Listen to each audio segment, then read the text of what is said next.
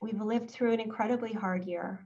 I know I'm asking you to do more hard things again. Spring will look different than last spring.